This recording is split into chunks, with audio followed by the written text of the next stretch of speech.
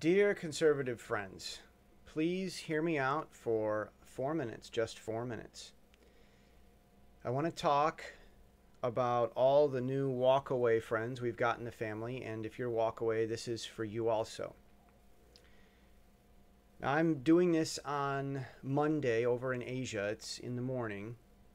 Tuesday is the midterm 2018 election. Now, generally, I think that this election looks like it's going to be unusual and go in favor of Republicans. Uh, I think they could gain. They probably hold. If they lose, it won't be much. That's what it looks like to me. But that's not what I'm really thinking about.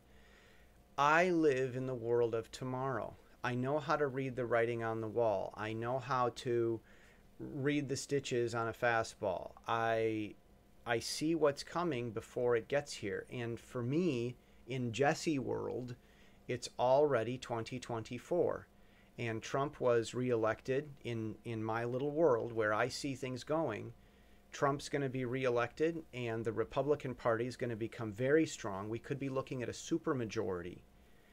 And I don't I mean it doesn't matter if it's Republicans or Democrats or libertarians when one party gets a supermajority, that's when corruption comes. That's when dangerous stuff happens.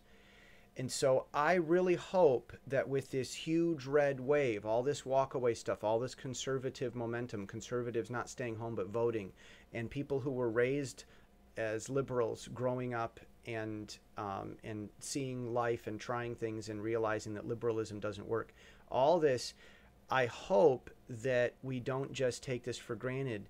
We need to create another political party. Now, I've written a book called The People's Party and you can search for it in most of the ebook stores. It's free by and large. Amazon, it's a dollar more because that's a luxury platform, but it, it's great. You can order a paper copy. I might make a second edition. Tell me what you think. The People's Party. Now, I am not going to go knock on doors to get petitions for the People's Party because it needs to be done by the people. Now, if you want to create a petition and go knock on doors and I'm in your neighborhood, I'll go knock on doors with you as the guy that wrote the book. But I'm not going to go lead the charge. This has to be led by the people. So I urge you in your own state, get organized, take initiative in your your world, your government and register the People's Party in your own state and in your own community. Go do that. It needs to be of the people